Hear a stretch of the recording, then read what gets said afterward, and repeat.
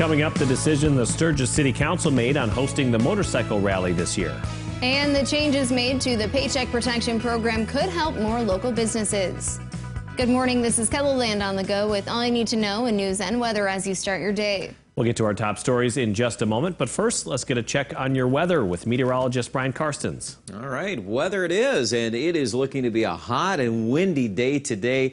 Drink lots of water if you have to be out working in the heat, as temperatures will be close to 100 in central KELOLAND. Let's take a look at the maps. The other thing we're talking is the wind, which that seems to be just unrelenting here this month of June. We've had windy days, many of them, and here's another cycle of wind, the next couple, and I think that uh, that will also help to accelerate those temperatures.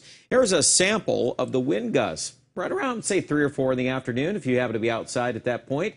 Uh, in the 90s and 40 mile an hour winds. Doesn't sound exactly great, does it? I bet your air conditioning will be working hard today. And temperature wise, our forecast here uh, mainly 90s, 94 Sioux Falls and Aberdeen, and close to 100 in Pierre. We do find a little relief in the seven day and some rain chances. We'll talk more on that in a few minutes.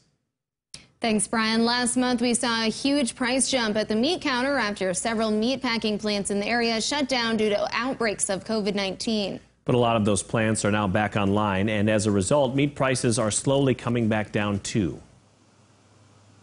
Like our tubes of 80%, they were they were about 5.99 per pound, and so that's about 60 bucks for a tube. And now it's went down to 2.98 per pound, and so now it's back down to like 30 per tube.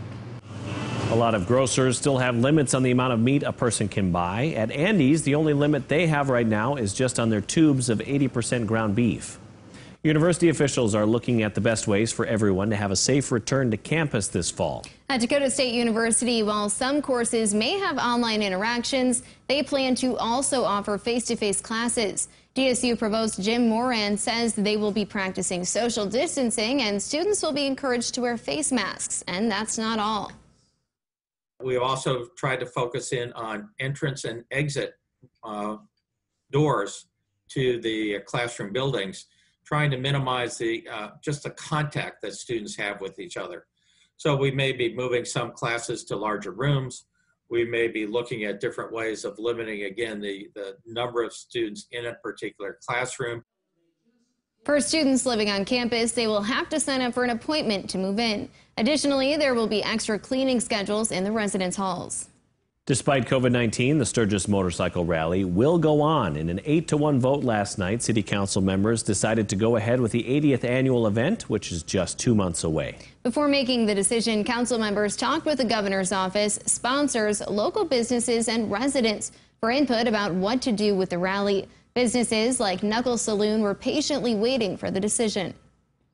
These people are coming anyway. You know, um, you know, there's still places that are totally locked down, states, and um, they have uh, they want to come. You know, they said even if we just got to sit uh, in our campground or ride through the Black Hills, but all the bars and restaurants are going to be open in Sturgis and throughout the Black Hills, and we're going to do the best we can. While the rally will go on, there could be parking regulations and sanitation stations. New changes to the Paycheck Protection Program give business owners more flexibility and allow more people to apply. In order to qualify, applicants could not have a felony conviction in the last five years. Watertown eye doctor Melanie Weiss was denied because she had a prior drug felony conviction, even though it was removed from her record and she got her license to practice back. When we spoke to her in April, she was devastated. She has since reopened her office, but can only afford to bring her staff back part time. Now, with this change, she's hopeful she can qualify. It, it has been really stressful, uh, you know, not only just for myself, but even for my staff. You know, my staff has been working anywhere from, you know, 13 to 18 hours a week. And, you know, they're having to try to get everything they can done in that short amount of time. So I know it's been stressful on them too. Um, and, you know, I just want to be able to do everything I can to take care of my patients, and I need my staff all here to be able to do that. To learn more about some of the other changes to PPP involving repayment and loan forgiveness, just go to this story on KELOLAND.com. It's a landmark decision giving job protection to the LGBTQ community. The U.S. Supreme Court ruled existing federal law forbids job discrimination on the basis of sexual orientation and transgender status. Previously, 21 states had their own laws prohibiting job discrimination based on sexual orientation or gender identity. The court's 6 to 3 ruling extends the scope of the Title VII of the Civil Rights Act, which bars discrimination on the basis of sex, race, color, national origin, and religion to include LGBTQ people. Sioux Falls Pride members call it a victory. Oftentimes, people accuse the LGBTQ and two spirited community of wanting more rights or extra rights. Um, that's not something we're fighting for. We're fighting for fair and equitable treatment. Justice Neil Gorsuch, President Donald Trump's first nominee to the Supreme Court, wrote the decision. Brian?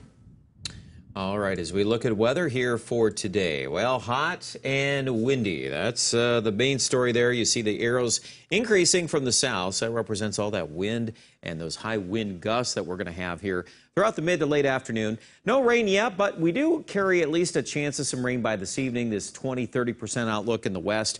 You'll notice as we put the futurecast in motion right in through here, Rapid City, there are a few little blips that seem to dot up toward Faith and maybe Timber Lake. So keep an eye on that, but I don't think that's going to be a major uh, event of showers and thunderstorms. Tomorrow will start dry, but we do see a risk zone of some severe weather popping up from Aberdeen down to Winner. Now, there will be cells. It's not like it's widespread rain, but just to let you know, the environment there is conducive for some storm development.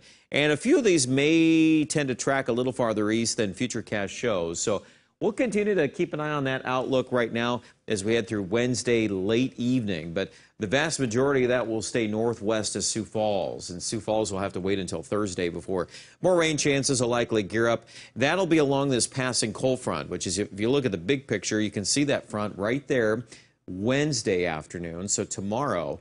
And then see on Thursday how that kind of drapes itself across eastern KELOLAND, and that's your best chance that uh, you'll see at least some scattered showers and thunderstorms as uh, we go into your Thursday and Thursday afternoons. So everybody will be watching for that.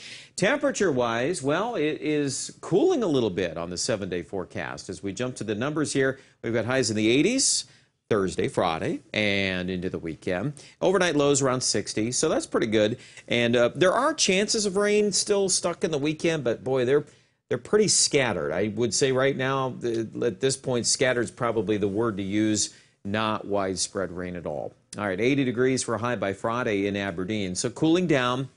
Again, a couple of spots on radar can't be ruled out in that cooler weather pattern, but not looking at humid conditions. Pierre, couple more days of really hot weather, and then we settle down and get back in the low 80s a little more comfortable. A few showers or thunderstorms are possible, but it's in that 30% range starting tomorrow night and into Thursday, and then also again Friday. Rapid City, talk about a cool down. 95 today, 74 on Friday. Guys?